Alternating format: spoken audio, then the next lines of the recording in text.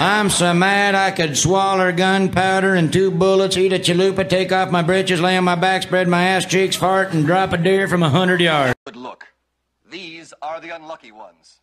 These unfortunate souls are suffering from ESS, enlarged scrotum syndrome. Here at the Atlanta Genital Institute, teams of doctors are at work around the clock to cure this dreaded affliction.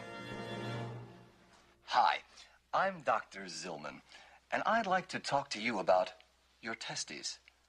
The human testicle is not unlike a balloon. Sometimes it is empty. And sometimes it is full. And sometimes maybe this will help you understand.